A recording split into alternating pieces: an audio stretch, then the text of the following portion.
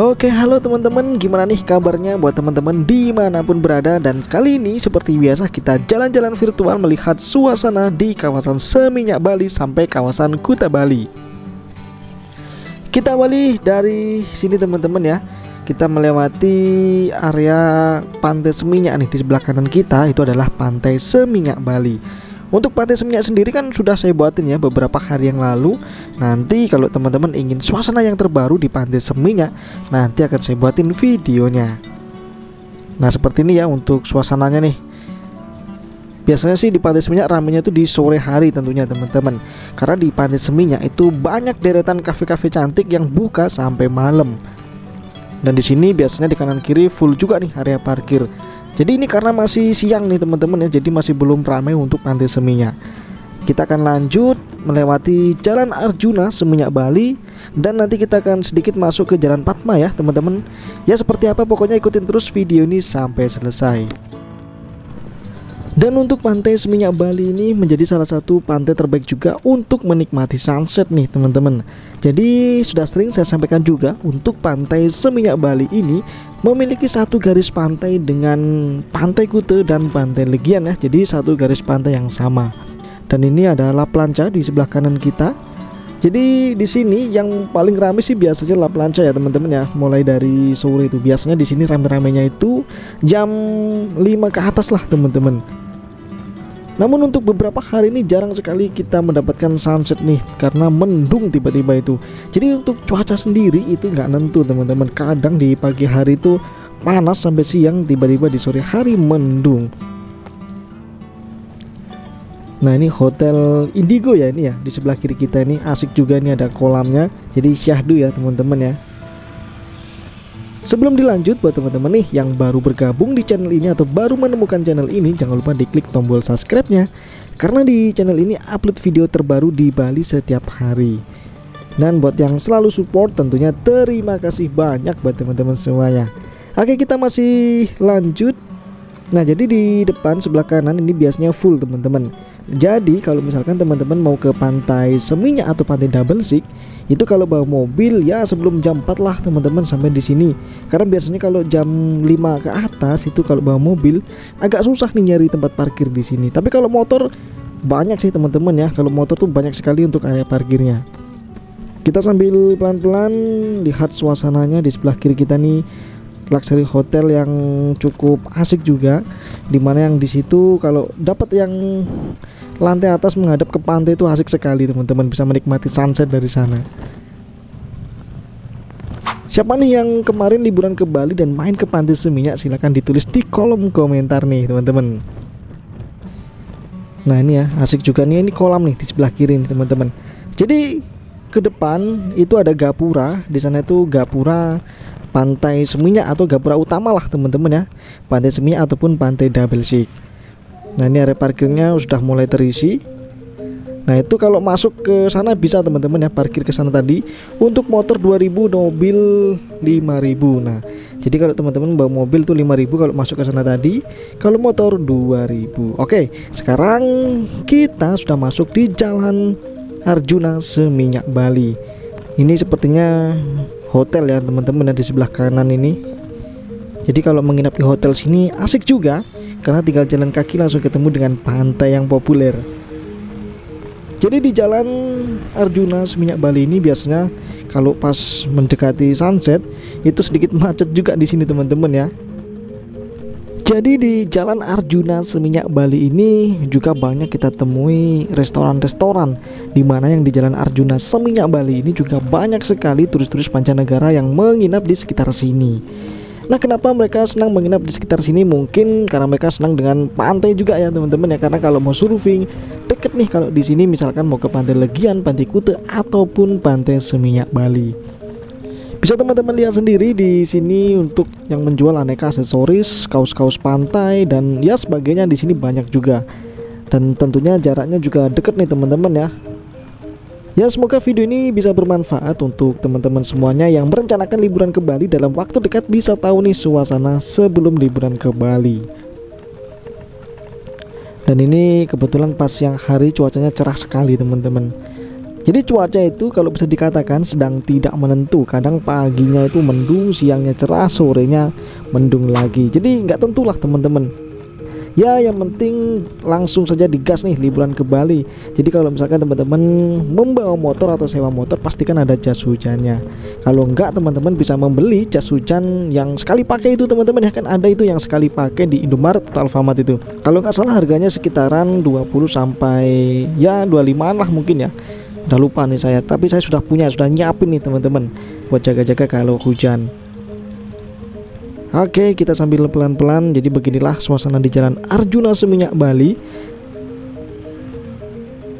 Jadi kalau mobil misalkan dari Gapura tadi itu belok ke kanan teman-teman ya. Belok ke jalan Werkudara kalau motor masih bisa lewat sini kalau dari arah kita. Tapi kalau dari arah depan itu mobil diperbolehkan Oke, kita lanjut sambil lihat situasi dan suasananya. Kalau bisa disimpulkan sih di sini sudah semakin ramai ya teman-teman ya. Apalagi di Canggu nih beberapa waktu lalu saya ke Canggu tuh ramai sekali. Nantilah saya buatin ya di Canggu yang terbaru teman-teman. Sebelum dilanjut jangan lupa nih diklik dulu tombol like-nya biar makin semangat. Jadi nanti kita akan melewati ya sedikit jalan raya seminyak ya teman-teman di depan nanti kita masih lanjut. Nah di sini banyak juga turis-turis jalan kaki. Oke di perempatan sini kita ke kanan nih teman-teman. Kalau misalkan mau ke Canggu dari sini ke kiri bisa teman-teman. Oke kita gas dulu. Kita berada di kawasan Seminyak dan nanti kita akan menuju ke Jalan Patma Legian Bali. Nah, kenapa di Jalan Patma Legian Bali? Karena di Jalan Patma Legian Bali saat ini sudah ramai juga teman-teman ya, sudah banyak sekali turis-turis Australia yang menginap di sana. Jadi turis-turis Australia itu kebanyakan senang mereka menginap di Jalan Patma Legian Bali. Selain di Jalan Patma Legian Bali banyak penginapan murah atau hotel murah, di sana juga dekat dengan Pantai Legian jadi makin asik apalagi kalau pas malam hari itu ramai sekali teman-teman di Patma Legian ya. Siapa nih yang liburan ke Bali menginap di Patma Legian? Dan untuk di sini sendiri ya beginilah lalu lintasnya.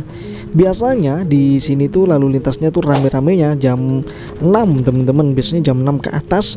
Ya jam 6 sampai jam-jam 8 lah di sini tuh cukup crowded cukup sibuk. Kalau di Jalan Kayu Ayah biasanya tuh semakin malam semakin sibuk di sana teman-teman Oke, ini mobilnya mundur dulu. Sampai di sini jangan lupa diklik tombol subscribe-nya nih buat yang belum subscribe teman-teman.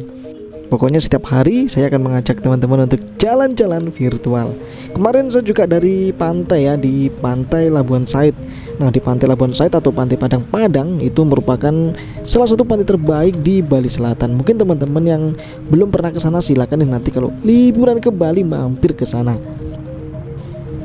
Yang penasaran bisa ditonton videonya ada di bawah video ini Pantai Labuan Said Uluwatu Bali. Jadi Pantai Labuan Said itu dekat dengan Pantai Suluban dan Pura Uluwatu.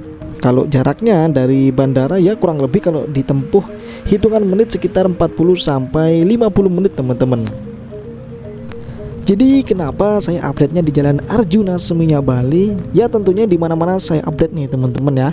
Jadi untuk beberapa tempat-tempat wisata atau kawasan jalan yang menuju ke tempat wisata di Bali akan saya update untuk suasananya. Kenapa? Biar teman-teman yang sebelum liburan ke Bali bisa tahu nih suasana-suasana di Bali yang terbaru. Jadi di channel ini setiap hari kita jalan-jalan melihat suasana terbaru di Bali. Dan kemarin ada yang nanya juga untuk ojek online ya teman-teman. Jadi sudah sering saya bahas untuk ojek online. Kalau ojek online itu 24 jam selalu ada teman-teman Untuk di Kabupaten Bandung Bali dan Denpasar Bali. Nah jadi buat teman-teman yang liburan ke Bali dan menginap di kawasan Kabupaten Bandung Bali atau Denpasar Bali Itu jawabannya 24 jam selalu ada untuk ojek online. Termasuk seperti Grab Taksi ataupun e, taksi online lainnya lah teman-teman itu selalu ada 24 jam kalau untuk di kabupaten lain saya kurang tahu nih teman-teman karena saya tinggalnya di Kabupaten Badung dan bisa dikatakan juga dekat dengan Denpasar Bali. Kita lanjut lagi di sini. Nanti kita akan belok ke kanan, kita akan masuk ke Jalan Patma Legian Bali. Untuk di Jalan Patma Legian Bali itu banyak juga kita temui hotel ya teman-teman atau penginapan lah di sana itu. Penginapan murah-murah juga banyak. Tapi kalau musim-musim seperti ini tuh jarang sekali dapat diskon yang banyak nih teman-teman. Apalagi kalau tahun baru ya. Oke sebentar nih kita akan belok ke kanan. Nah ini taksinya juga ke kanan. Kita gas dulu. Jadi kalau teman-teman ikutin jalan ini mentok saja itu nanti ketemu dengan Pantai Legian Bali atau Gapura Pantai Legian. Tapi nanti kita akan belok ke kiri ya, masuk ke Jalan Sahadewa teman-teman. Bisa dilihat sendiri area parkir di depan-depan resto ini cukup ramai juga. Jadi untuk di sini itu mobil satu arah teman-teman untuk mobil. Kalau dari arah depan itu harus masuk ke jalan Sahadewa kalau mobil. Misalkan dari Pantai Legian nih. Mau pulang teman-teman harus melewati jalan Sahadewa atau jalan Werkudara. Oke, kita pelan-pelan kita sambil nunggu pertigaan nih. Ya semoga di Bali terus ramai dan banyak wisatawan Buat teman-teman yang penasaran untuk tempat-tempat wisata Atau suasana-suasana di tempat wisata yang terbaru Silahkan ditonton video-video lainnya di bawah-bawah video ini karena bisa dikatakan channel ini upload video terbaru di balik saat ini. Oke, kita lanjut lagi. Nah, di sini teman-teman kita ke kiri ya. Kita akan masuk ke Jalan Sahadewa. Kalau lurus, seperti yang saya sampaikan tadi, buat teman-teman yang mau ke Pantai Legian Bali bisa lurus mentok ikutin jalan itu tadi atau ke kanan masuk ke Jalan Padma Utara. Di Jalan Sahadewa ini kalau malam banyak sekali turis-turis asing jalan kaki teman-teman ini pun siang hari walaupun panas-panas juga banyak yang jalan kaki apalagi kalau pas malam. Itu ramai sekali teman-teman kalau pas malam di sini. Ya semoga video ini bisa memberikan gambaran atau mungkin ada yang kangen nih buat teman-teman yang kangen dengan suasana di Padma Legian Bali atau Jalan Sahadewa semoga bisa terobati untuk kangennya. Oke, kita masih lanjut pelan-pelan. Cuaca yang cukup cerah. Nah, ini banyak turis-turis lagi nyantai-nyantai ya duduk-duduk santai asik lah biasanya kalau malam banyak terus-terus Australia teman-teman di sini. Ini siang hari pun banyak juga sih tapi kalau malam lebih banyak lagi. Karena kalau mau ke Legian Bali itu juga deket sih dari sini. Kalau misalkan nih mau ke klub-klub malam itu deket dari sini teman-teman. Nah ini bule-bulenya mau jalan kaki nih. Mungkin mau ke pantai jadi kalau jalan kaki misalkan ke klub-klub malam atau ke monumen lah ya itu dari sini kalau jalan kaki lumayan juga sih. Kalau jalan kaki ya teman-teman bisa naik ojek online lah. Dari sini ke monumen nggak ada lima menit sudah sampai. Oke kita masuk ke jalan Melasti Legian sedikit. Setelah ini kita akan masuk ke jalan Lebak Bini.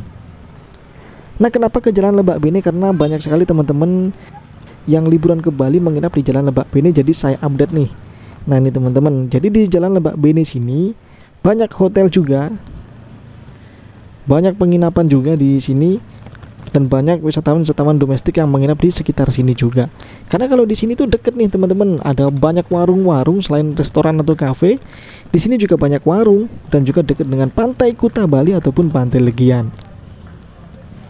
Nah itu tadi ada yang baru datang ya Buat yang baru datang di Bali untuk liburan, saya ucapkan selamat datang, selamat liburan, semoga liburannya selalu menyenangkan.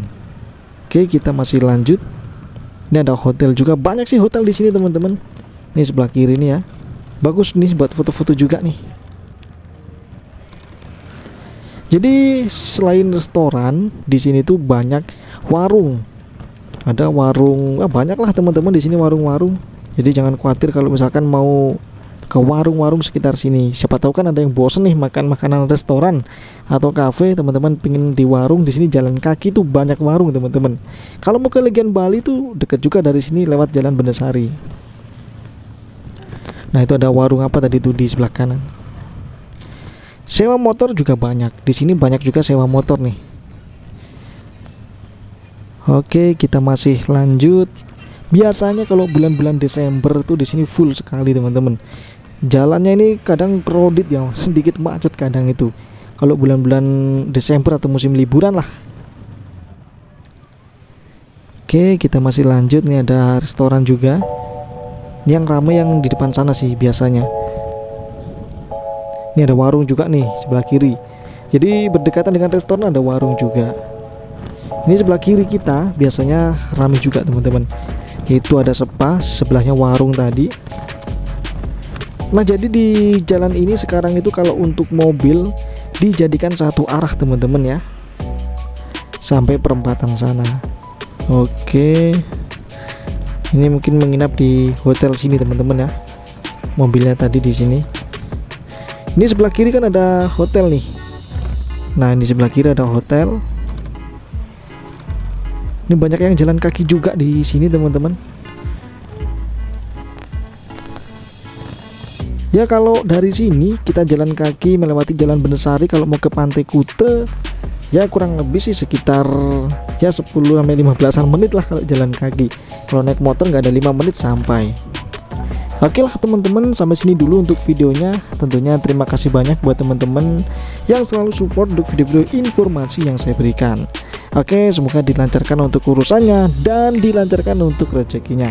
Buat teman-teman semoga sehat selalu ya di mana pun teman-teman berada. Dan salam sejahtera buat semuanya. Terima kasih